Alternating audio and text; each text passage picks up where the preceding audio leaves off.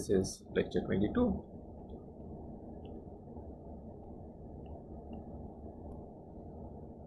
So, uh, up until now we have been discussing various topologies of amplifiers and we were also uh, discussing how to make different voltage control different control sources namely the voltage control current source, the voltage control voltage source, current control current source and current controlled voltage sources using a single transistor circuit right. So, that is what we have been doing till now.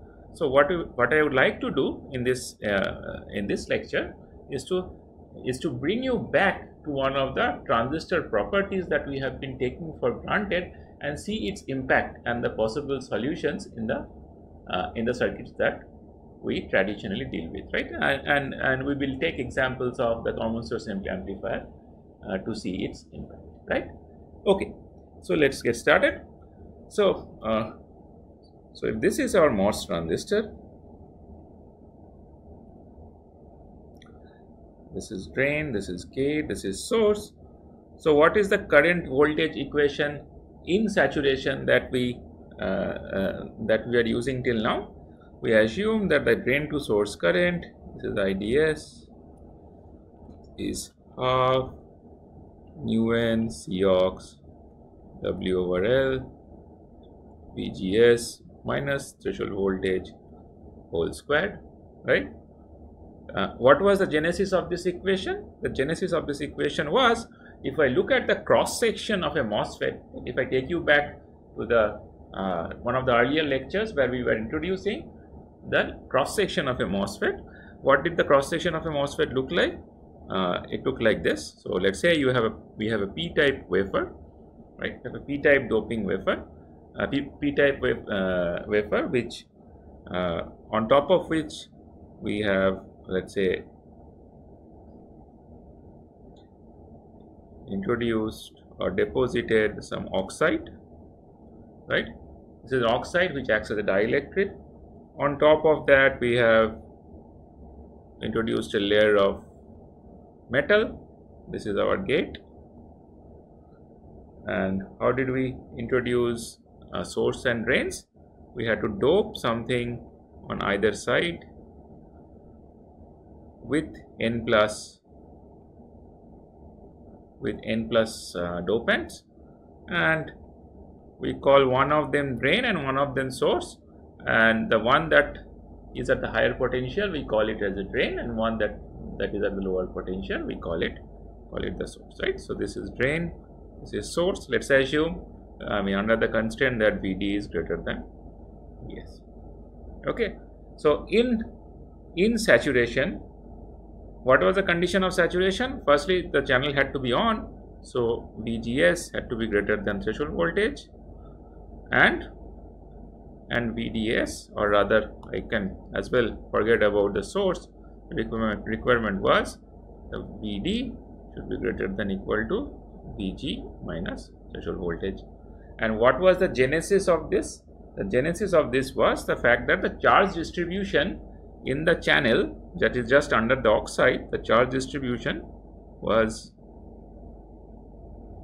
something like this right so these were electrons all the way uh, in the channel and at the drain channel junction right at around here at around here we were having pinch off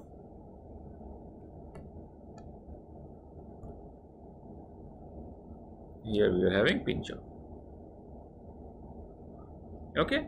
And this was the electrical length or physical length of the channel right? So this physical length was getting translated to to the length in the in the current equation of our MOSFET. Okay so now as it turns out what happens is if you increase the drain voltage so let's for this for, for this purpose let's assume that the source is grounded right? And gate is connected to some some higher potential so that inversion has been established. Okay. And let's assume that the drain is now connected Uh, to a higher potential so that this condition has been satisfied. Now all we are saying is, let's assume that we are increasing the drain voltage. So if we increase the drain voltage, the assumption that we took was, was the fact that nothing is going to happen to the channel anymore because because the channel has been pinched off right now as it turns out as it turns out uh, that's not entirely accurate. So one can appreciate the fact that if I increase the uh, if I increase the drain voltage the lateral electric field that is the electric field going from the drain to the source inside the channel right? So let's say let's mark it with a different. So the lateral electric field is going to increase right? So so even though there is a pinch off even though there is a pinch off around around the uh, around the drain channel junction the increased electric field will have an effect. And what is that effect? The effect will be the effect will be to shorten the length of the channel right? So what what what ends up happening is that the the slope of the slope of this channel increases and maybe it the channel uh, the starting point of the channel on the drain side gets pushed from the uh, from the physical junction of the uh, gate and uh, uh, uh, of, of the gate and the drain but it gets pushed towards inside inside the channel right? So since this happens we can say that let's assume that this is uh, because of this increase of electric field the channel got shortened by delta L.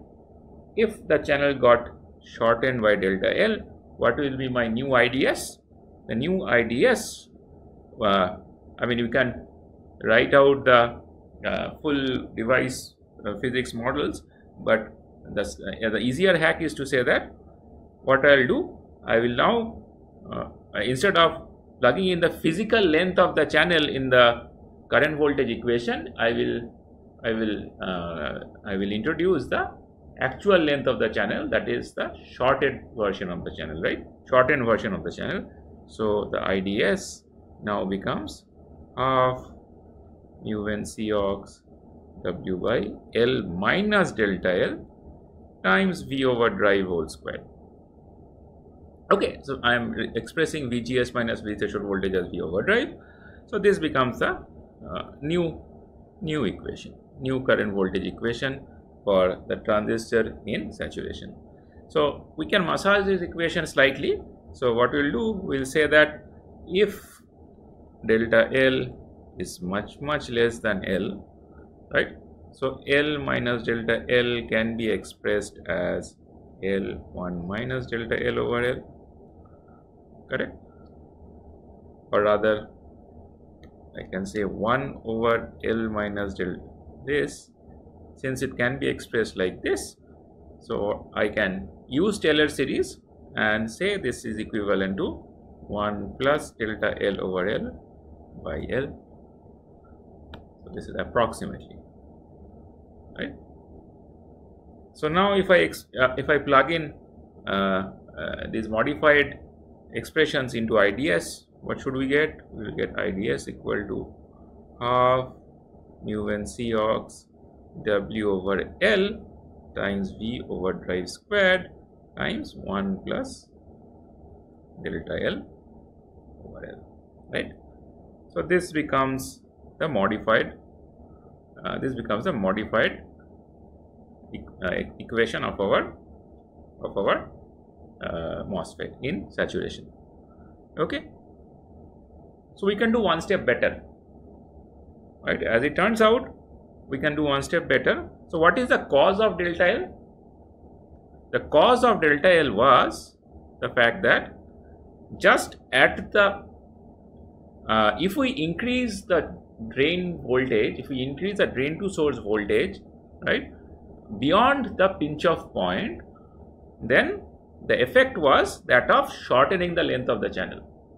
So delta L is the amount of shortening of the length and delta the cause of delta L is increase of the drain to source voltage beyond the pinch off point right. So what what we can further approximate is we can approximate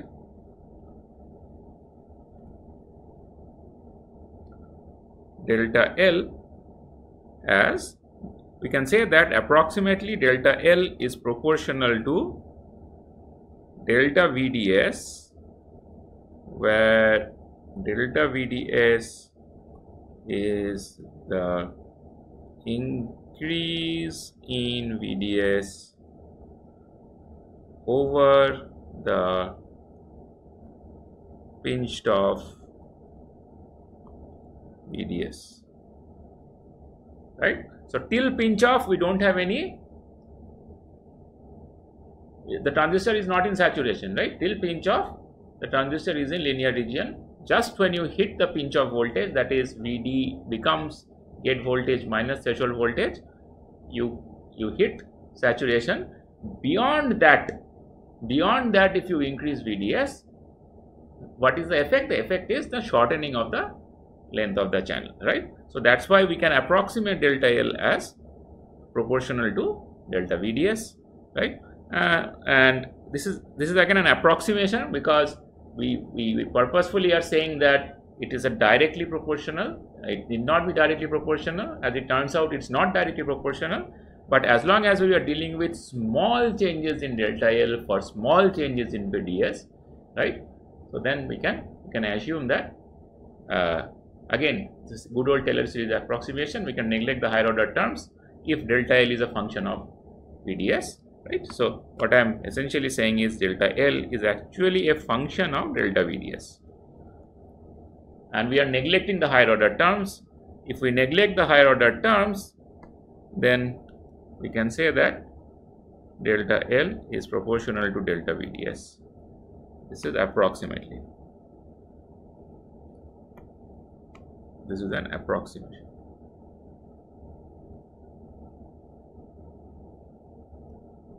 okay. So when I say that delta is proportional to delta VDS then we have to introduce a proportionality constant and the proportionality constant that we normally use is called lambda. We call this lambda times delta VDS. Okay. What is the unit of lambda oh I, am sorry I'm sorry. So so let let me not do this right now. So let let's uh, let's write it out fully right? So let's call it let's delta call it delta L is equal to eta times delta VDS where eta is some proportionality constant. And let's plug in this value in the IDS IDS expression. So what is my new IDS expression? So IDS becomes half mu n C ox W over L V over drive squared right? Times 1 plus delta L over L where delta L is eta over L times delta VDS correct. So, delta VDS I should characterize as over VDS equal to VGS minus threshold voltage right on top of this.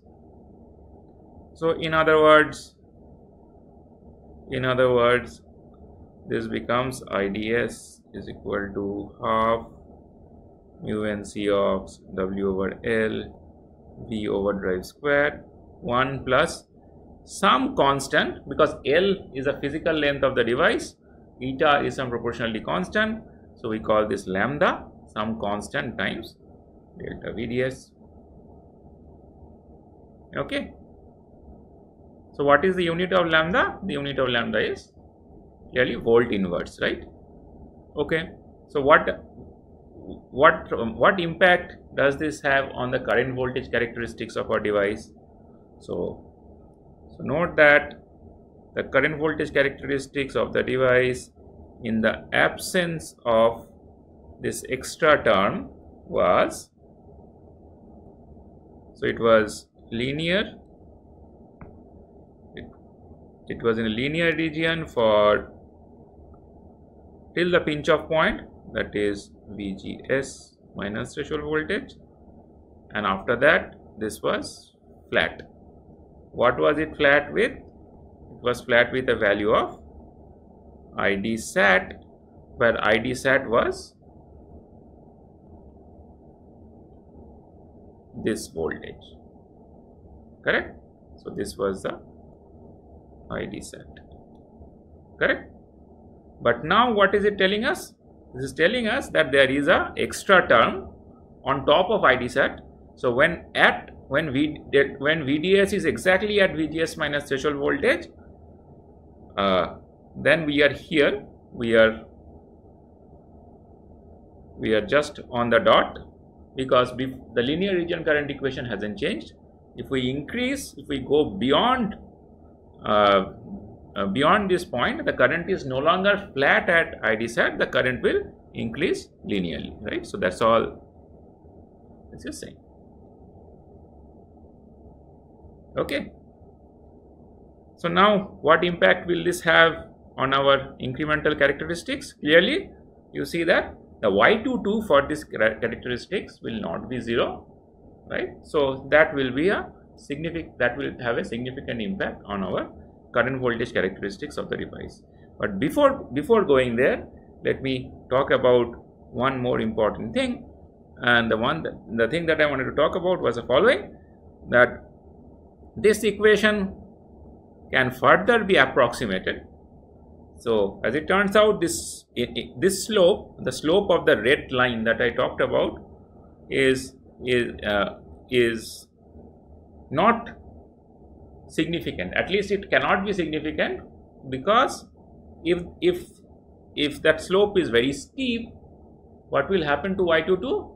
y22 will be will become higher and higher, and which essentially means that we will not be able to make an amplifier. So that what our fellow device physics uh, colleagues or the device engineers have done is, is to ensure that we get devices in which the, the even though there there will be a slope in the ID sat uh, uh, in, uh, in the in the saturation region characteristics, but they will not be significant enough.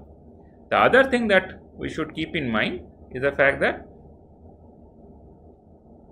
this point is even though uh, I have shown it in such a way that such a way that this is quite far from the this is quite far from uh, the zero zero point from the origin this point is not significantly away from the origin.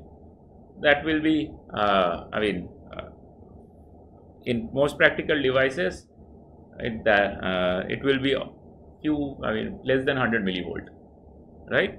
So uh, so hence since that since that is the I mean, one might argue that if VGS is higher, VGS is larger and larger, then obviously this voltage will be uh, this this knee point will go to the to the right further to the right. But uh, even though that is the case, but in most practical devices, you won't be biasing your VGS with very large voltages, simply because you see that if you uh, if you if you uh, bias it with very large voltages, then you, there is a tendency of the transistor going towards towards linear region. So, so in most practical cases, you you limit the overdrive to 100 millivolt or few hundreds of millivolts, right? So, so the point that I am trying to make here is that this knee point is much closer to the origin, and you have a lot of room on the right of the knee. So that is why this equation is further approximated as as instead of using this term delta VDS, we get rid of delta and we say that I mean delta VDS is approximately equal to VDS because this extra VGS minus threshold voltage we can we can neglect without incurring too much of error. Okay. So essentially what we are saying is a new IDS equation is essentially this. This is half mu n C ox W over L V over drive squared 1 plus lambda. So this is the famous current voltage such uh, equation of a transistor in saturation. In the presence of the effect that causes reduction of the channel or the modulation of the channel based on the applied drain to source voltage. And this effect is often called channel length modulation right? This effect is called channel length modulation and often abbreviated as CLM okay. Okay. Okay so now uh, so let's spend some time understanding the effect of of channel length modulation. And as you have already guessed the primary effect of channel length modulation will be on on the y22 of the device right? So ids since ids is half mu n c ox w by l v over drive square 1 plus lambda vds what is y22 y22 is del id del vds right? And at some quiescent operating point of id of now the operating points are VGSQ, VDSQ. We cannot now neglect VDSQ because it is the, uh, the current actually depends on VDSQ. So this becomes uh, half mu n C ox W over L V over drive squared times lambda, right? So this can further be approximated as lambda times IT Okay. Okay. Okay. So now uh, uh, you will see that in many cases, in many cases, uh, we I as it turns out this the, the, the, the values of the lambda are not significant. By not significant what I mean is if I take a typical device uh, lambda is approximately I mean lambda is often less than less than 0.1 volt inverse right? In devices with L greater than 180 nanometer okay so if this is the case, right? So what do you think is the significance of this term? Yeah, significance of this term on the absolute IDS As it turns out, the significance, as you can see, the significance of this term on absolute IDS is not very high under the assumption that lambda VDS is much less than 1, right?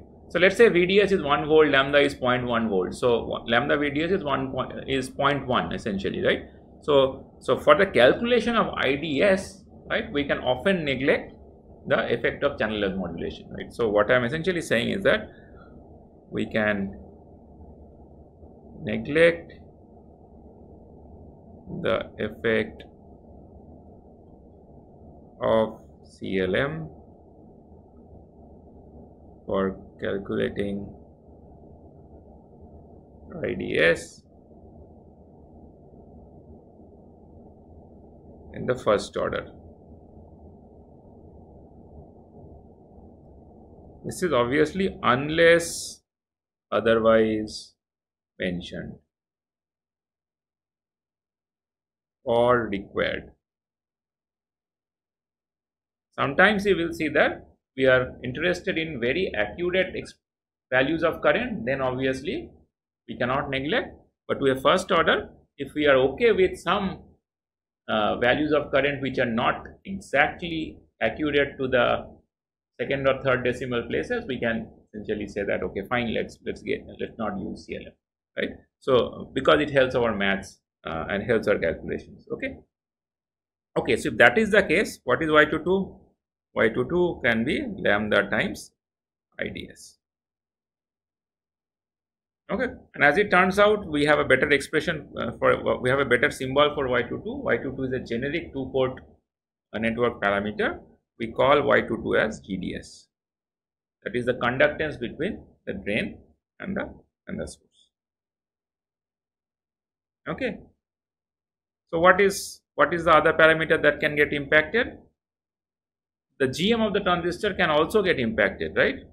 So what is the gm gm is to to ids to vgs which is equal to un cox w over l vgs minus threshold voltage times 1 plus lambda vgs vds right? So so this is often i mean so if if uh, if we can approximate the total current by neglecting lambda vds right? So what is generally done is to say that while approximating gm we will not use the will not use the uh, effect of lambda vds in most most devices right? So approximation is approximation since lambda VDS is much much less than 1 we approximate GM as mu n Cox W over L VGS minus threshold voltage. So essentially the expression for the GM remains unchanged. You can use whichever expression you want.